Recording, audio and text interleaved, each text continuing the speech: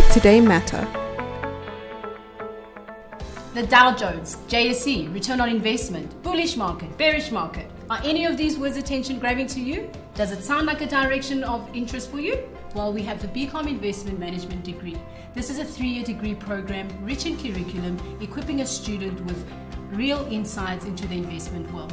The program also prepares our students in the application of their gained knowledge through various hands on experience and assignments. This allows the students to develop their presentation skills, research analysis, as well as other skill sets that are necessary to prepare them into the workspace.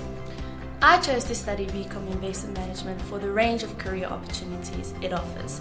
Fund manager, portfolio manager, investment analyst, or even a private wealth manager, this program truly paves the way for a future career in the financial industry and it may be quite lucrative and financially rewarding.